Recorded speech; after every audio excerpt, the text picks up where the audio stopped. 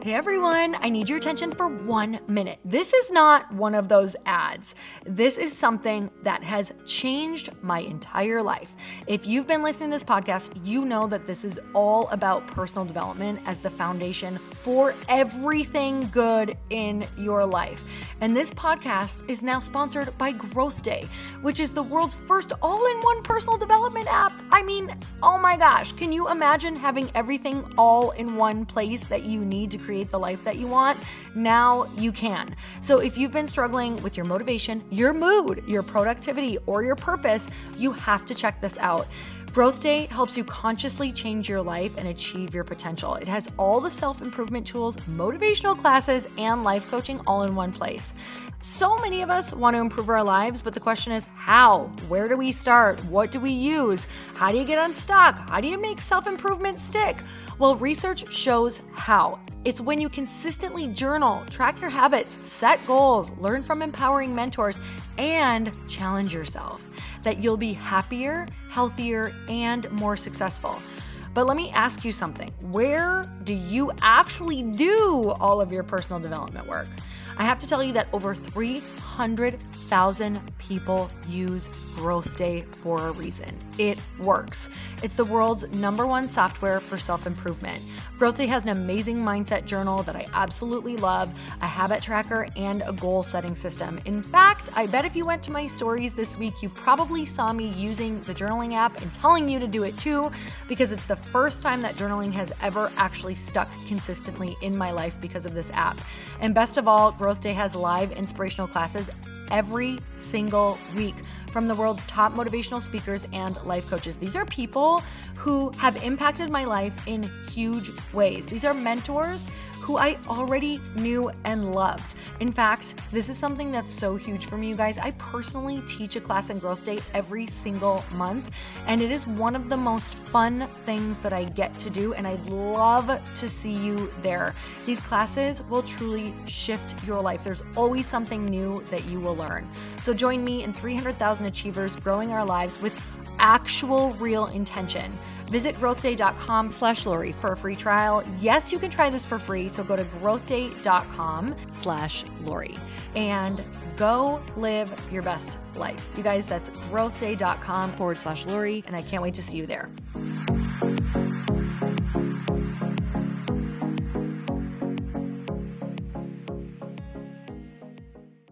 To accomplish the things that I've been driven to accomplish and then realize, wow, those accomplishments didn't free me from the prisons of my own mind. Mm. I have to mm. free those internally. And they're actually completely independent of my external success. Welcome to the Earn Your Happy podcast. I'm Lori Harder, founder of the Bliss Project, three time fitness world champion, fitness expert, and cover model turned self love junkie, lifestyle entrepreneur, and author. Each week, I'll bring you a guest or a thought that will help you bust through your fears, connect to your soul, and get focused and clear so you can elevate your life, business, and relationships. We don't wait until we're ready for someone to tell us we're good enough. We take what we want and we anoint ourselves. Get ready to earn, own, and unapologetically rock your happiness every single day. Are you with me? Here we go.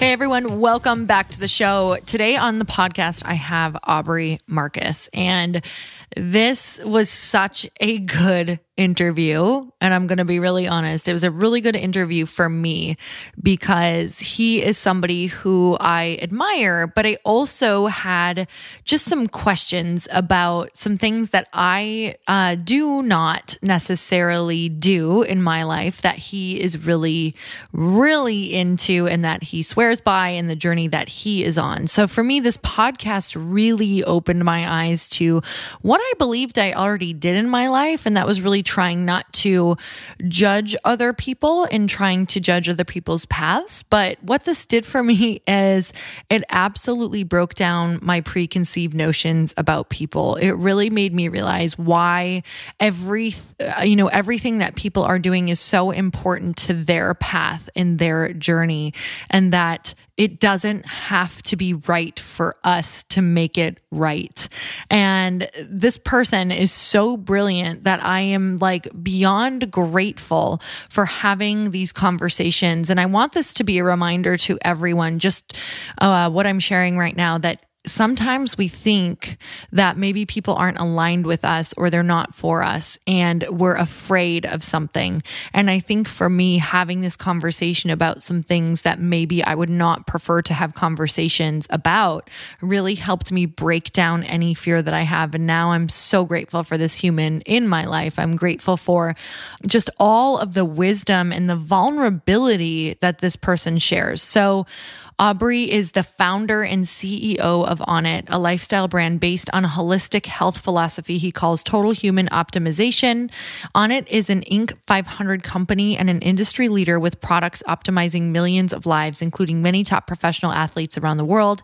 He currently hosts his podcast, the Aubrey Marcus Podcast. It's a motivational destination for conversations with the brightest minds in athletics, business, science, relationships, and spirituality. He's got over 10 million downloads on iTunes, and he regularly provides commentary to outlets like Entrepreneur, Forbes, The Doctors, The Joe Rogan Experience.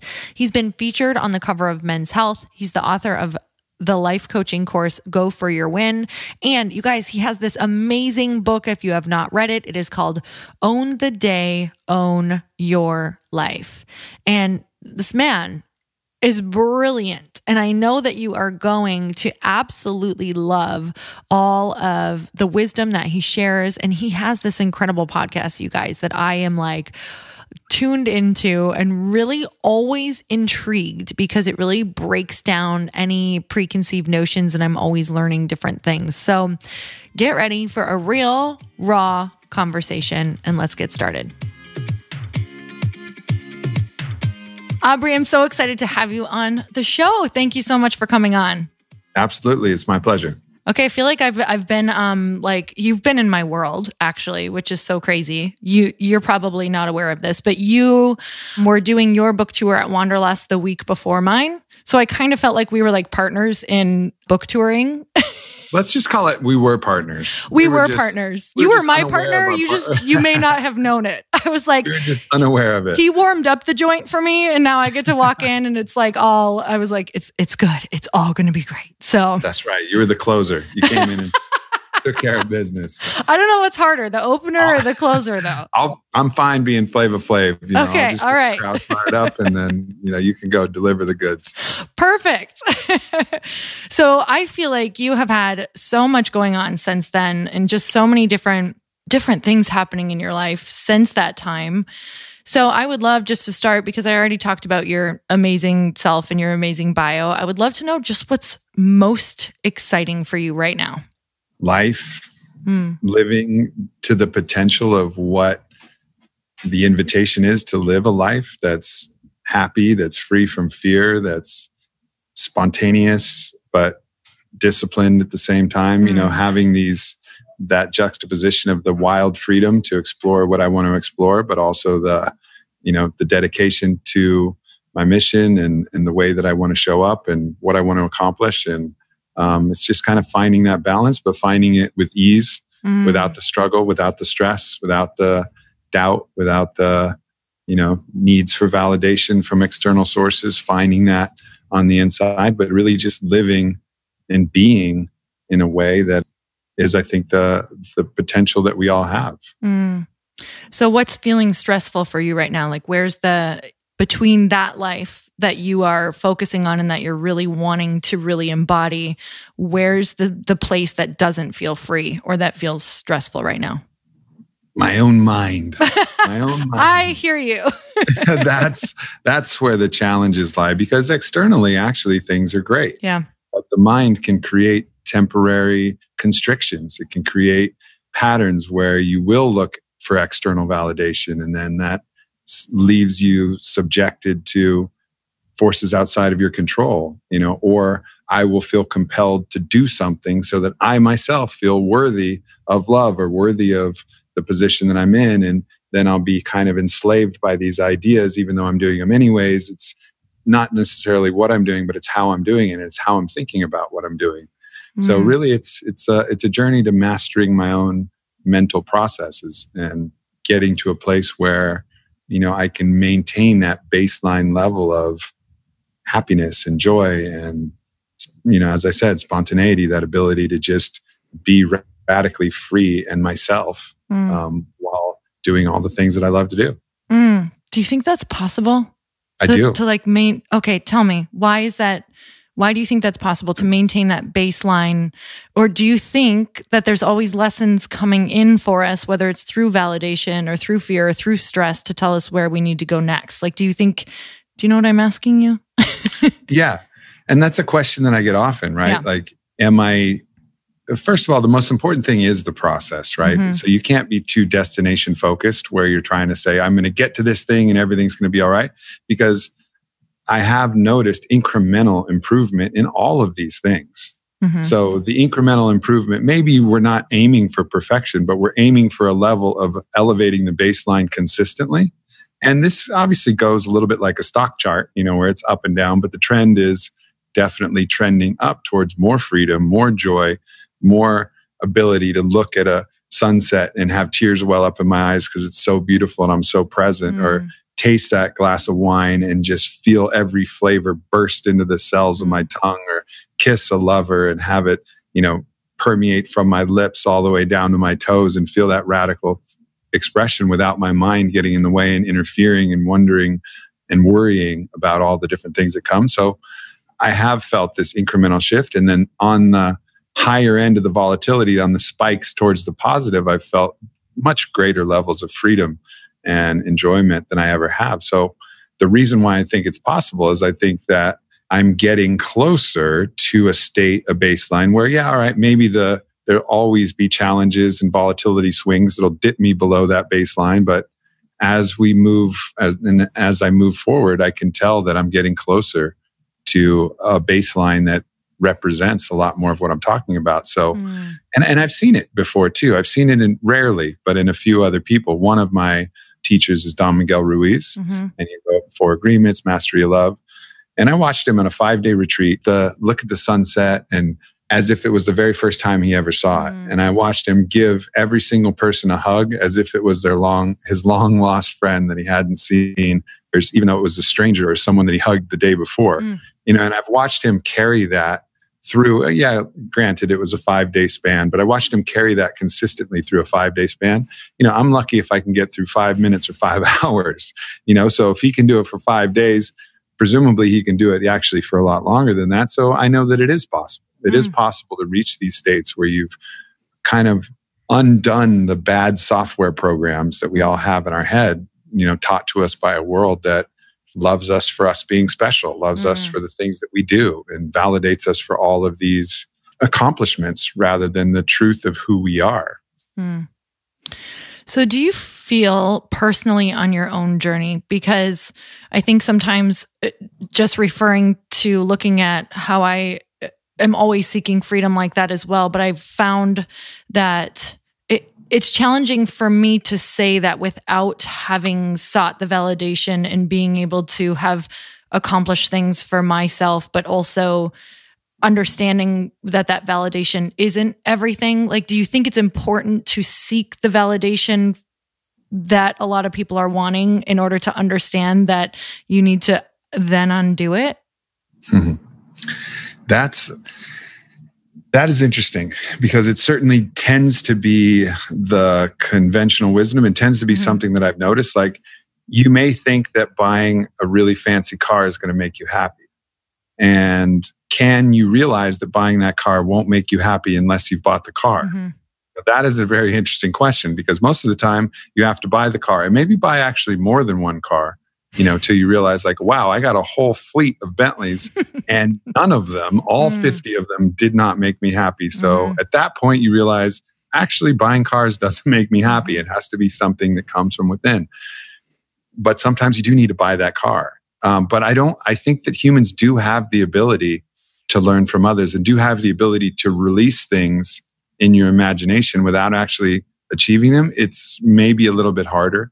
It's easier to recognize to get the thing that you think you need and then realize, oh, that wasn't really the thing that I needed. Mm. You know, that's definitely a little bit easier uh, and definitely has helped me. to accomplish the things that I've been driven to accomplish and then realize, wow, those accomplishments didn't free me from the prisons of my own mind. Mm-hmm. I have to mm. free those internally. Mm-hmm. And they're actually completely independent of my external success. But, you know, I, I do hope because that's a that's a tough thing to say that everybody who thinks that making money is going to make them happy, you know, not everybody's going to be able to make money. So that would mean that it would be only a select few or if if you know all the people that think a Bentley is going to make them happy, all of them have to get a Bentley to realize that it won't make them happy. Well, there's not enough Bentleys in the world to actually do that. So mm. I do perhaps optimistically, but believe that you can learn from others. You can release things with actually, without actually achieving them, but you have to have enough people, enough mentors, enough other social proof around you where you actually believe it without having to physically experience it. Mm. What's the one main thing for you that you feel like you achieved that you were wanting so bad? That was maybe a massive goal that you achieved. And then you were like, hmm, that definitely wasn't it, even though I thought it was going to be it. Is there one that really stands out for you that you just thought was going to make you feel a certain way or you thought was going to give you what you wanted? Well, I think I could say every single girlfriend that I've ever had, mm. you know, like you think, oh, if I get if I get with this person, everything is going to be good and all mm-hmm. of the, I'm going to feel great and everything's going to be perfect. And, or, so that's one of them. You know, mm-hmm. being successful financially was another one. Being, having a high level of physical performance was always something that I thought would give me, you know, the kind of physical confidence and, all of it you know all of it is all of that is good i'm not mm-hmm. knocking doing any of those things finding the part finding the partner that you want being successful in what you want to do it's never what you're doing it's but it's why you're doing it mm-hmm. and um, and realizing for me that none of those things actually solve all the problems they can be mm-hmm. fun and it's a good challenge mm-hmm. and they mm-hmm. can put out good things in the world and you can learn and all of that's great but literally everything that i've achieved hasn't yielded the promise of freedom and mm. if freedom and being who i truly am is my goal then i'm very rapidly realizing there is absolutely nothing outside of my own internal processes, my own internal work, my ability to foster my own self love and my own self worth and my own internal validation, you know, regardless of anything else that's happening outside of me. Mm. You know, that's that's ultimately it. So honestly, the answer there isn't one thing; it's everything. Mm. Mm-hmm. What's happened this year that feels like it's freed a part of you that wasn't free last year like maybe just a lesson or something that you've gone through or something that you're going through right now well in this past in this past year not necessarily 2019 but in the past year you know it was one of the more challenging mm. years of my life i got in a really bad car accident actually mm. where inexplicably I f- passed out and my brain just shut off in the middle of the day I slept well. I rested well. I was going to do a podcast there was no reason that I should have, in the middle of a sunny day, fallen asleep at the wheel. I don't, I can't even fall asleep during a movie. Yeah. You know, like, like I've never, like, some people can fall asleep like that. So it yeah. wasn't even falling asleep. My brain just shut off and I crashed into a guardrail. Guardrail cut through my car, split the side of my face, and I woke up in the hospital. Oh my God. And from that experience, I learned a lot. And one of the things I learned is I was largely incapacitated. And I've been fortunate enough, I haven't had any a lot of major injuries in my life, but I was incapacitated for pretty much two weeks where all mm. I could do was heal, heal my face, heal my body. And in doing so, I couldn't really do anything for anybody. I couldn't do anything for work. I couldn't do anything. Mm-hmm. And it was really a lesson that everybody still loves me and I can still love myself, even if I'm not doing anything. Mm. And it was a, a wow. heavy price to pay to learn that lesson, but so worth it, you know, just for that lesson alone that I'm worthy of love without doing anything. And it's okay for me to be just taken care of. And that's, that's okay. I don't need to be the one that's providing and be the one that's taken care of and be the one that's killing it in the gym and be the one that's doing all of these things to receive love and to be worthy of love. Wow. What was that even like? Like that narrative in your head when you were feeling like you weren't able to help in the way that you wanted or you weren't able to be there for people or how how did you actually get through that on the day to day when you were laying there i really didn't have a as much of a choice mm-hmm. right like it was such a significant and severe event that I didn't have the option to do a little bit. Mm. You know, hmm. like I couldn't, I really couldn't do anything. Wow. So that forced me to then go directly to the internal process. Because if you can even get by a little bit, you know, then you can kind of say, well, at least I'm doing this. And you can kind of shift your point of focus to the things that you're able to do and not actually take the full force of the lesson. Mm-hmm. But when it is that severe and that extreme, it forces you to take all those arrows and point them back towards yourself and say, okay, what's going on here? Mm. You know, and um, fortunately, I was able to do that because of some of the work and the understanding that I had already prior. This was just the test that allowed me to put that into practice. Mm. So, what is something that you've that you've taken from that that's just made you live at another level that's even more rich? I know you explained shared some stuff, but what is like the overarching kind of theme from that that's made your life even more rich, or maybe something that's opened up that wasn't open before? Yeah, I mean, I think it it continues to unfold, and uh, and and I start to track. You know, there's an equation of you know I have to do X to receive X back. You know, like I have to show up in this way, or people aren't going to love me anymore. Mm. And so it's kind of releasing that, and that can be from a friend. Let's say a friend comes into town into Austin, and I'm just crazy busy, and I need to rest, and I'm too tired to entertain. Like it's feeling comfortable, being like, "Hey, man, I love you. And I'm so glad you came to Austin. And I wish I could spend more time, but it's not the right time for me. And mm. usually that would cause me like a lot of internal turmoil and stress. And I would mm-hmm. force it and I would do it anyways. And then I'd come back and be even more exhausted and maybe even a little bit resentful that I went actually and did that thing. I'm feeling more comfortable relaxing and being like, hey, you know, this is what's going on and just being radically honest about it and trusting that they're not going to be like, oh, fuck that Aubrey guy. You know, like he didn't come out and you know trust that. And if they are like that well that's their story and that's okay.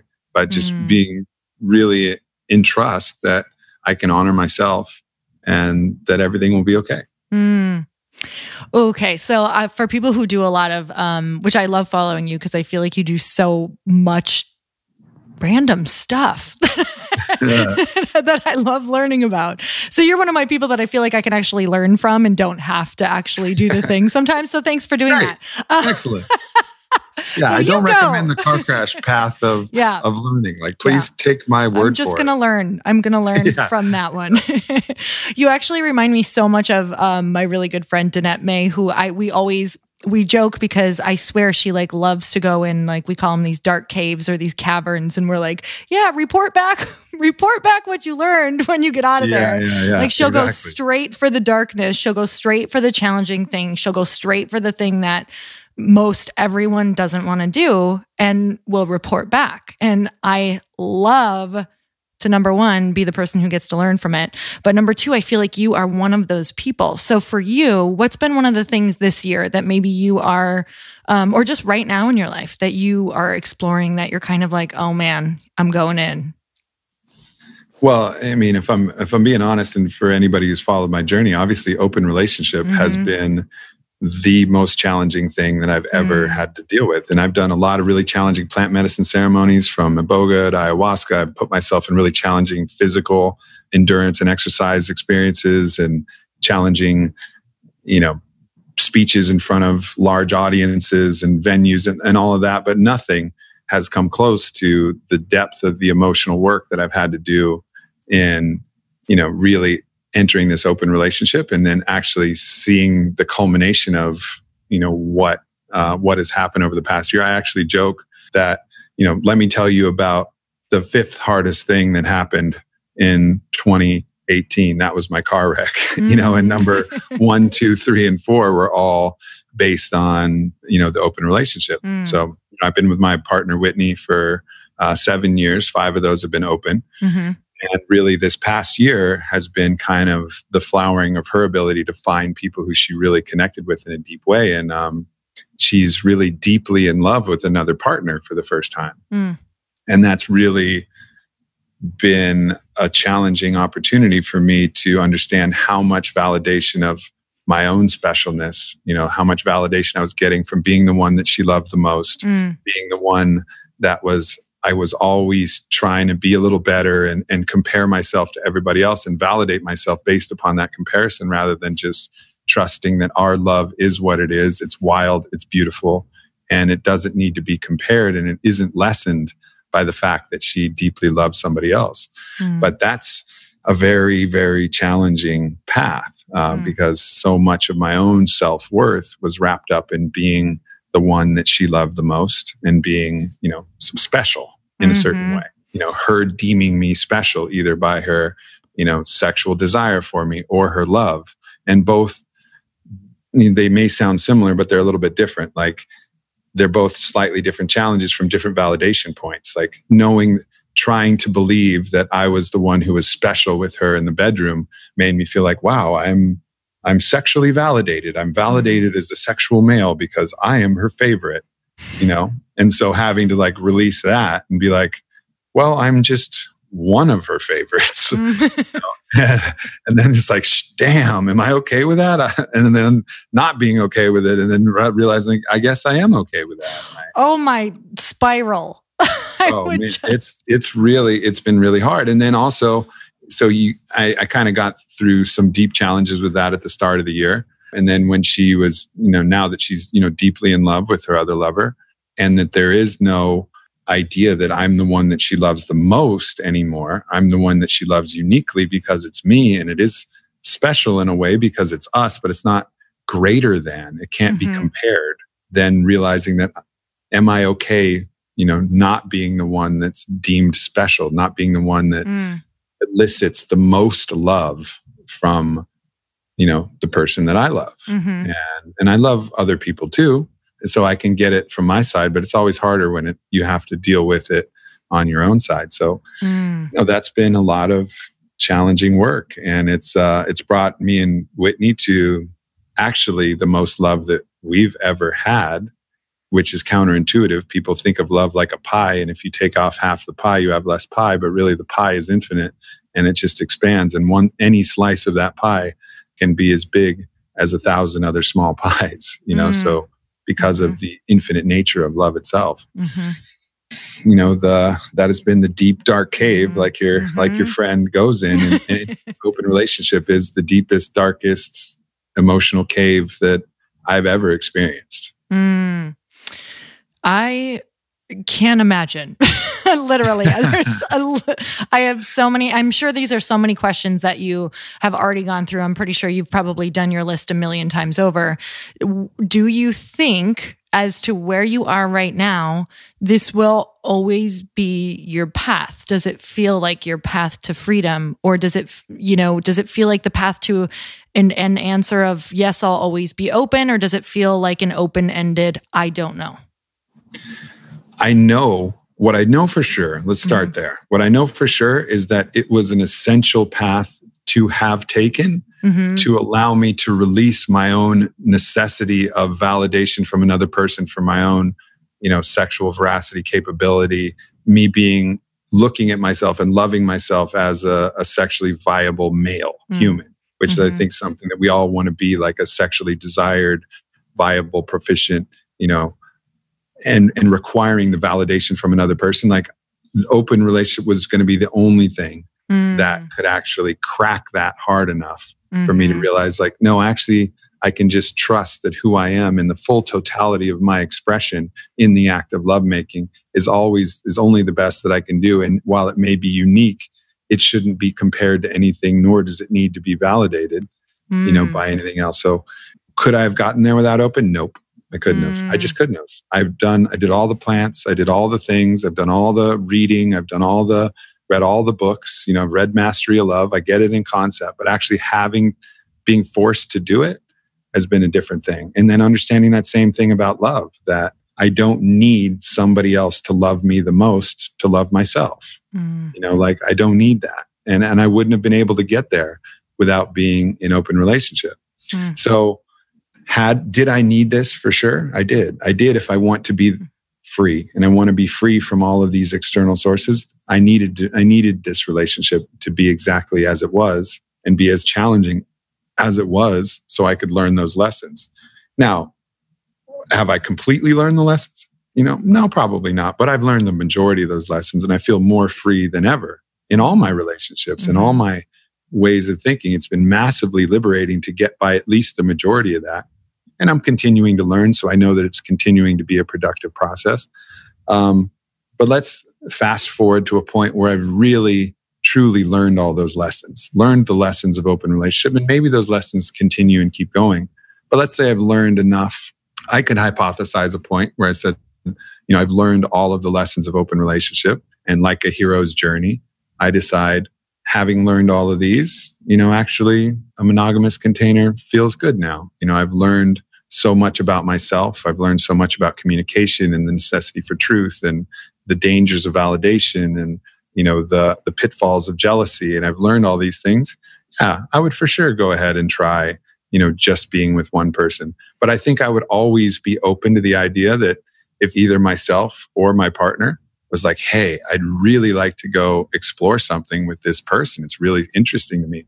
I would never see myself saying, no way, don't mm-hmm. do that. You know what I mean? Like, I would always be open to that phone call, like, hey, I met somebody. I'd really like to explore this and be like, okay, yeah, sure, beautiful. You know, so I mm. think it would be, I could see myself in any relationship framework, but I wouldn't see it as inflexible. Mm. I would see it as always like, yeah, you know, like I'm always going to be okay with that. And I would want my partner you know, which I hope and believe will be Whitney to to feel the same and mm. and allow me that freedom as well, to, so that we could be in a monogamous container, but decide to release the boundary for a little while to explore it. Mm. How, so, in the beginning, did that put pressure on you when you would? I mean, there's a part of me that would be like, you still want to man, this is just, it's throwing me down my own spiral. Okay. So the pressure of like wanting to be loved or wanting to make sure that you're still loved by that person like did that did it make you raise your game or did it feel like pressure or did it actually help you become a person who could be a better partner how did that well, feel a thousand a thousand percent because it it teaches you to be happy for your partner's happiness mm-hmm. Mm-hmm. like the mm. only way out the only way out is to be genuinely happy for your partner's happiness. Oh, so we have a word so for being with someone in their suffering, the etymology of compassion, passion being suffering, compassion meaning with suffering. Mm. We have a mm. word for that. That mm. word's been mm. around. You can look it up on any dictionary and you'll get it. With, I'm with you in your suffering. Mm. But there's another word that's actually a recent word and doesn't even have, you know, you're not going to find it in Webster. And it's called compersion. Mm. And that's with someone's pleasure. I'm going to be with you in your pleasure. And that I think is actually a, a, even a far more valuable and exciting and interesting and fun trait to have is to actually be able to be with somebody in their pleasure. And that, mm. if compersion and compassion, of course, but compersion is also a component of your relationship where you're just stoked that your partner's having a good time, whether that's sexual pleasure, emotional pleasure, physical pleasure, mental pleasure, spiritual pleasure. No matter what, you're just happy that they're experiencing happiness and love and the possibility of this life. Mm.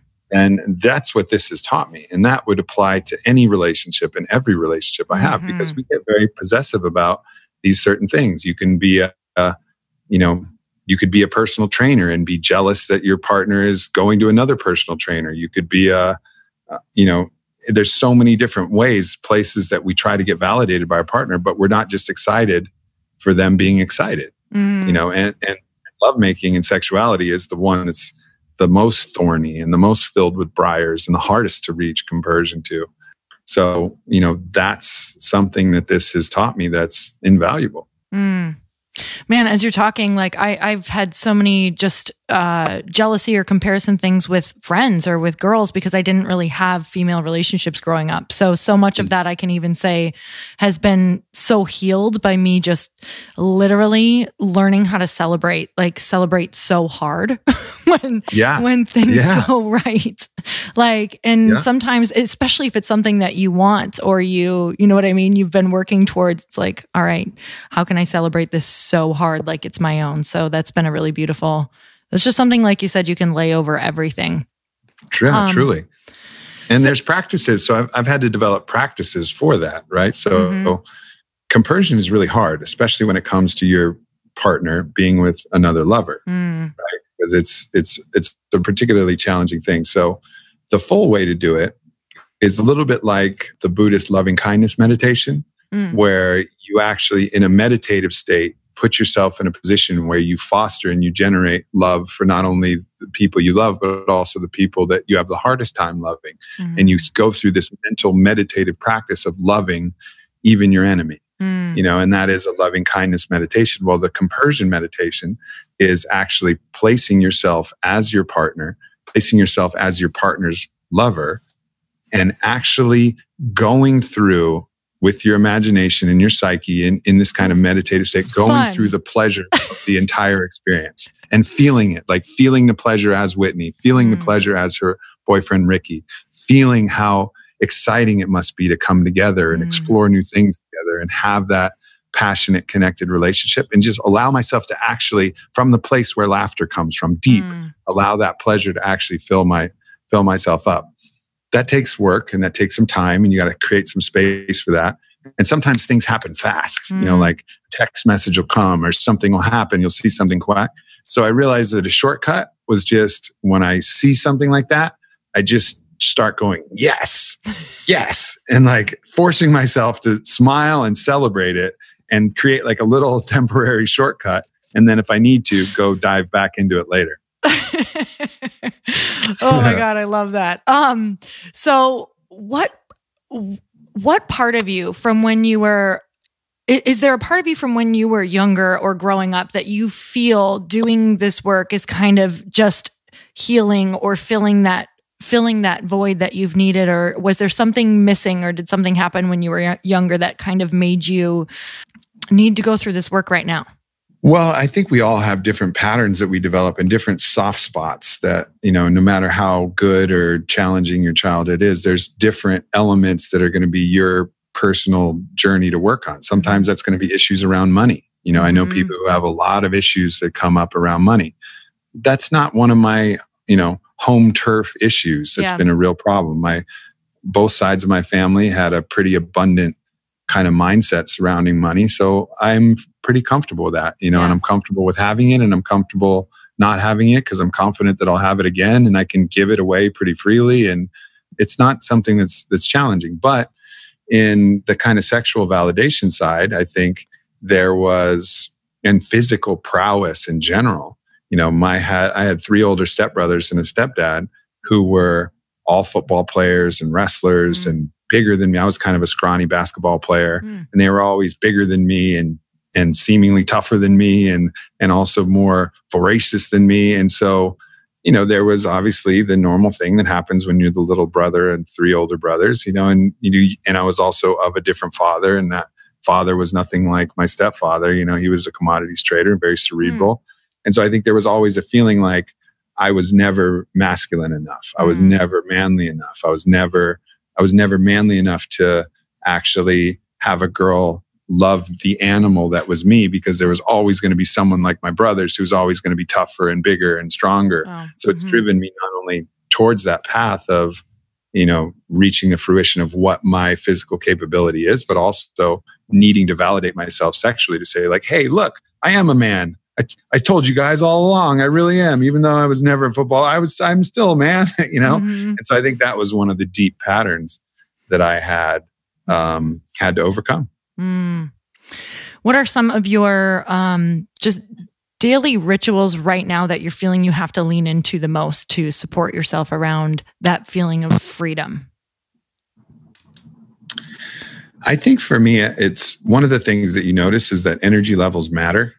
Oh, you know, mm-hmm. so when you're tired or when you're sick, that's when it's way easier to be overrun by jealousy. That's when oh, it's man, way yeah. easier to feel insecure. It's when it, all of the work that you've been doing becomes harder. Oh my God. So, yes. probably the most important practice I have is taking a 30 minute binaural beat kind of uh, recovery period, which is somewhere in between sleeping and meditating.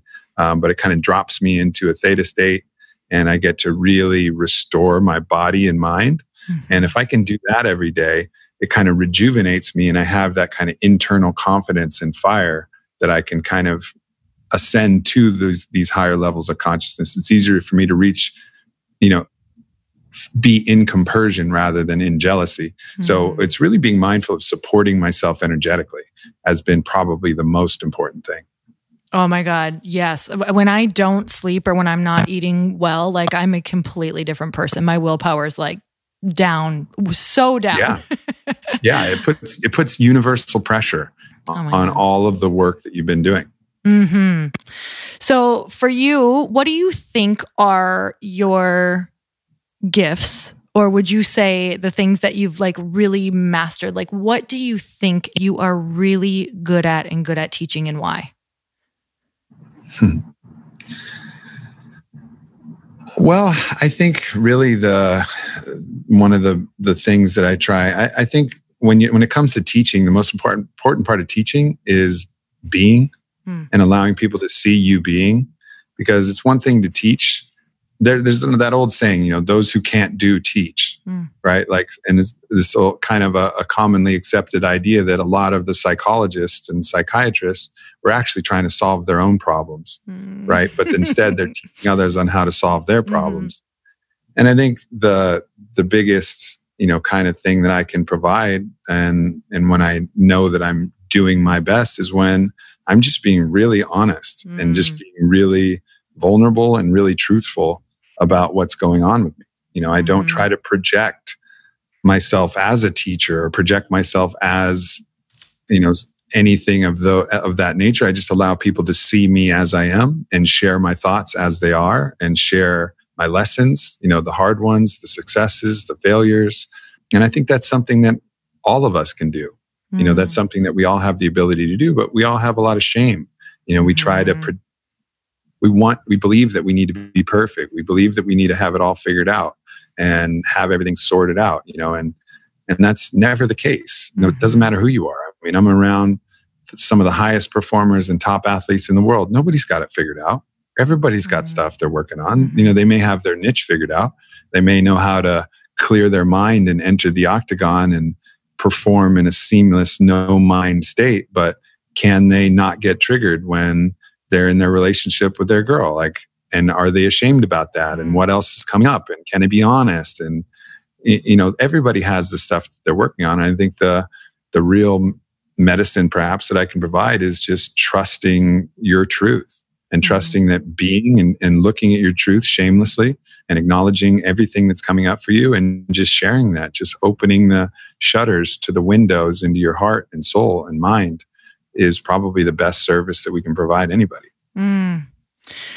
So for for what you do, everything that you do, just the the rate at which you have to perform along with all of the things that you're doing in your personal life and all of the things that you're working through, what do you do when do you compartmentalize when you are needing to maybe push something in business or when you have a goal that you want to reach?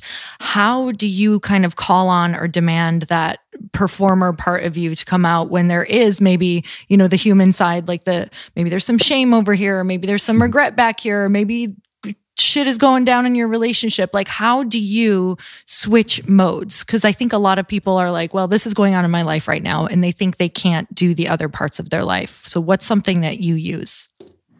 That's interesting because for me i think so you, there's just a kind of an innate quality that if there's something that i know i should do mm-hmm. and i and i know that i really need to do it like i need to show up um, I'm going to do it. Mm. And I'm going to do it regardless of how scared I am, regardless of how tired I am.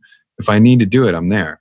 And I may not want to do it, but I'll do it anyways. And, and I think that's, that's just a kind of, it's almost like an ethos. It's almost like part of my warrior ethos. Like I'm going to show up no matter if I'm, you know, limping in, wounded in the heart, wounded in the psyche. I'm going to mm. show up and I'm going to give you all my best. I mean, you mentioned the book, you mentioned the book tour mm-hmm. you know, at the start. And that was actually the book tour happened to coincide with the crux of probably one or the number one or number two of my deepest emotional challenges wow. mm-hmm. of the year. And that was when Whitney, you know, took on a new lover, and that lover uh, was particularly challenging for me. And I would, there was times where I was in the hotel room. You know, I had a, especially my launch event in New York or the, or L.A. or one of the one of the events where I was in the room and I was crawling around on the ground, like not knowing if I needed to vomit mm. or cry uh, or, and I ended up praying. And I don't pray that often, but it was actually really valuable. I got some mm. amazing help and insight. I think just from the sheer, you know, vulnerable humility by which I was asking for help from the universe. But the next day, you know, when I had to show up at the strand and I had to deliver my message, you know, I showed up and I just brought everything I had and gave the audience everything I had, even though I'd been, you know, in an emotional wreck, you know, mm-hmm. for the for the day prior. And and it's just the willingness to be like, all right, this this event, you know, there's people showing up for this event. I'm launching my book. I care deeply about my book. Like I'm going to go anyways. And that's just kind of my code. It's my code that I will do that. Now, does that mean that I won't push off other stuff? That I won't, you know, let other things go and that I don't need to do? You know, yeah, for sure. You know, sometimes the relationship and my emotional struggle will take priority and I'll actually mm-hmm. come to work and instead of actually working, I'll spend the whole day talking to my friends when I probably should be working, but it's actually okay if I don't because I can catch up later. Mm-hmm. You know, so it's not like I have this regiment of I can't create the space, but I do know and trust that if I need to show up, if I need to be there, if my company needs me, if my purpose needs me, if somebody else in my family or tribe needs me, you know, I'll be there. And uh, and that's just my code. Where do you think that came from?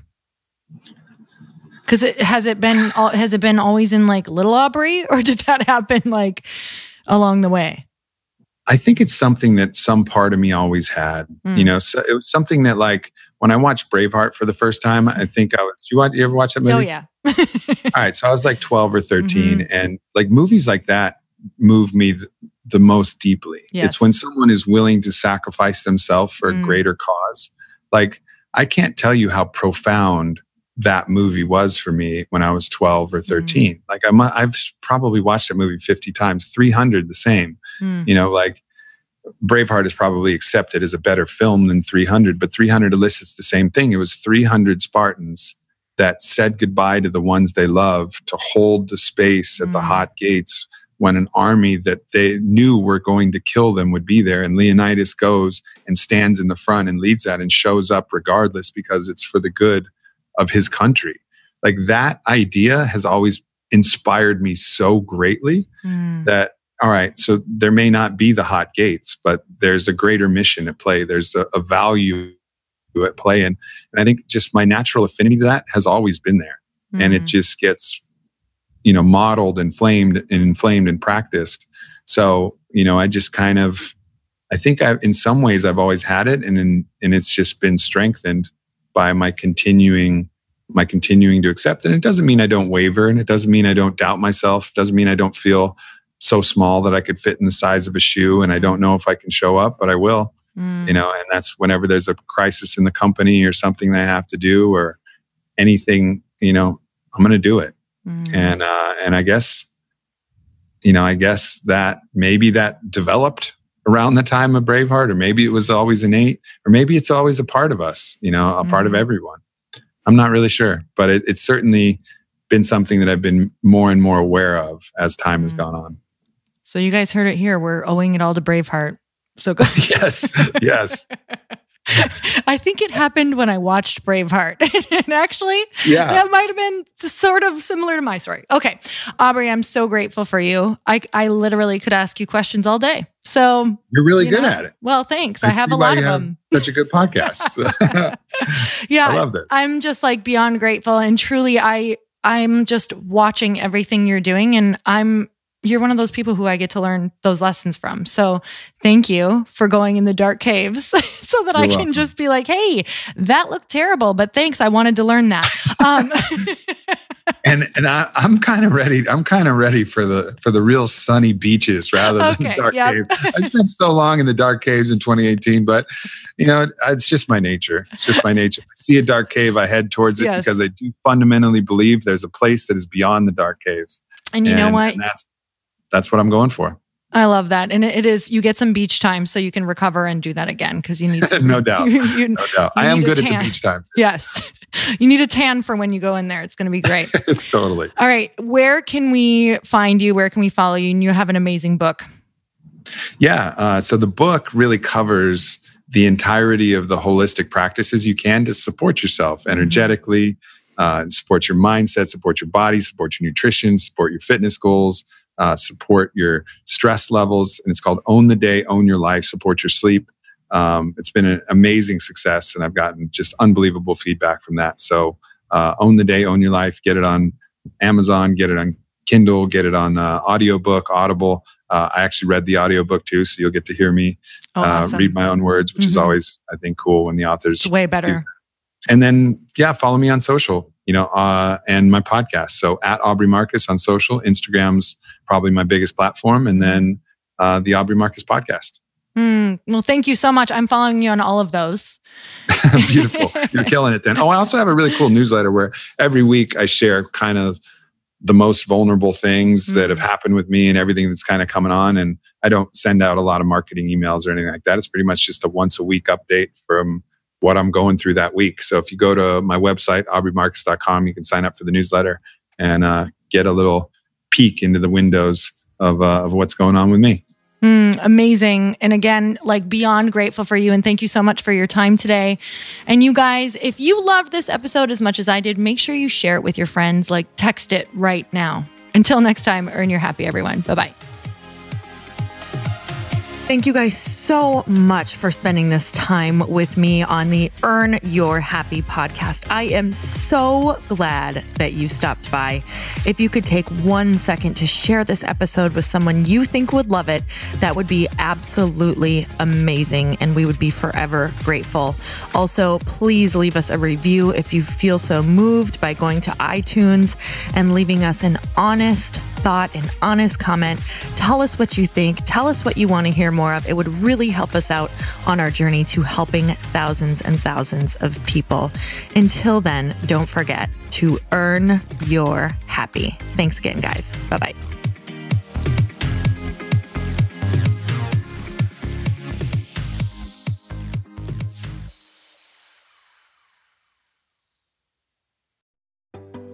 Hey, do you know what the big secret is this year?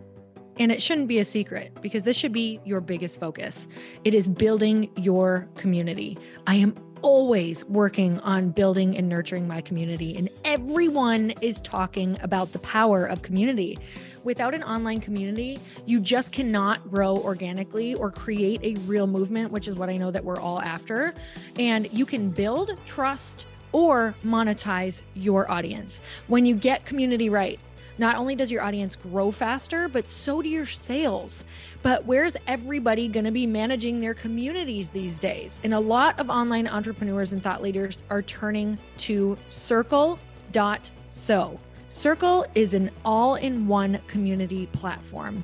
It lets you host content and create discussions, live streams, group chats, and memberships all under your own brand. And what's so cool about Circle.so is that you don't even need a website or Facebook group. Instead, Circle lets you build your own community site where you can host content and manage your members. You can even create locked and unlocked content spaces, groups, and classes. How freaking cool is that? You can put your content behind a paywall too, and you can charge different amounts of money for different spaces on your community site. Circle.so is famously easy to use and it has a free 14 day trial for you. So you can go check it out, see if you like it, see if you love all the options. Just go to circle.so. Go check it out right now, you guys. Imagine being able to manage your community, start group chats and live classes, and accept payments all in one place. Kind of mind blowing since this is usually spread all over the place. You have to log into so many different things. If this is the year to capture, organize, and monetize your community, head over to circle.so. You can get a free trial and start building your online community right now. Just go to circle.so. You guys, you get the 14 day free trial. So just go and see if it's for you. It's going to streamline everything and make your life so much easier. It's so freaking cool.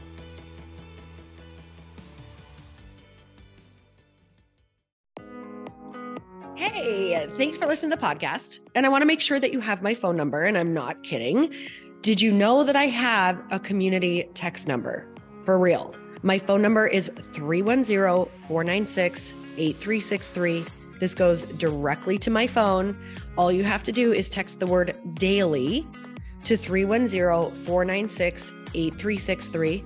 And I literally text you every single day, Monday through Friday I actually just got done 30 seconds ago texting a bunch of people back And I talk to you all of the time. You guys, people always ask me how I got my community text number and how it works. Well, all you have to do is you can just go to community.com and get your own. Community makes it easy to get a phone number that you can use to build your audience using text. People just text you at your number and they're added to your group. Then you can text them out audios, video links, anything you want. You guys, I text out happy birthday videos.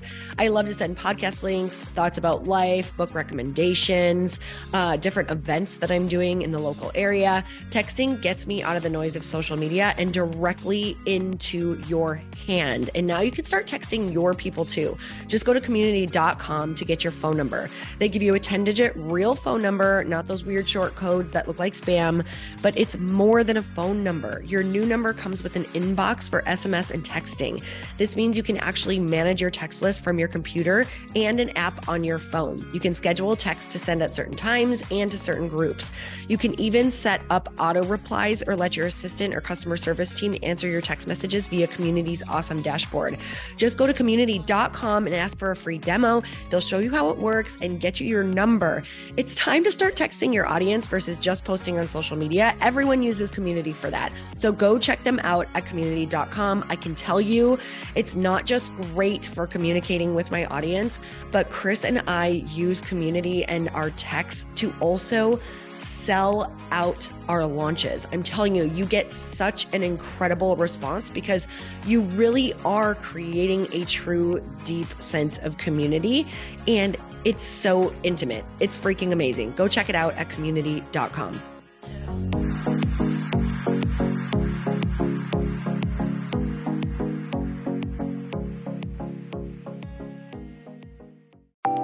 Want to know a huge secret to my success? Okay, not only my success, but just about every single person that I have interviewed on this podcast who is successful has this in common. You guys, they love to journal. They capture their life lessons and what they're grateful for. But a lot of people don't keep this up consistently. And most people do know that the research shows that journaling deepens your gratitude and increases self awareness. But did you also know that journaling decreases stress and helps you achieve your goals faster? In fact, journaling is a huge differentiator between average performers at work and high performing people. It leads to longer term clarity, confidence, and success. So, why don't more people journal? Why didn't I journal consistently? Honestly, they don't like staring at a blank page. It's hard to carry a book around with you or a notepad, and they just don't even know what to write about, or they just forget. That's why I know that you're going to love Growth Day. It's the world's number one system for self improvement, and it's like all in one personal development in an app. And it has an awesome digital journal, and people love it. Growth Day's digital journal has hundreds of research backed writing prompts for self reflection, positive mindset, confidence building, and success. I use them all the time, and it makes me think in ways that I typically don't, and it makes me ask myself better questions, which we all know gets better results in our our life. It even has prompts that help you develop a daily, weekly, or monthly habit of reflecting on your life and identifying areas to grow. So it's a perfect time of year to start journaling, you guys. When you sign up at Growth Day, you also get systems for habit tracking, goal setting, and scoring and improving every area of your life. Best of all, I get to teach there too, you guys. I'm so excited. I hope that I get to see you. I teach live in Growth Day every single month with a new topic just for you. So join me there. Start your free trial at growthday.com slash Lori.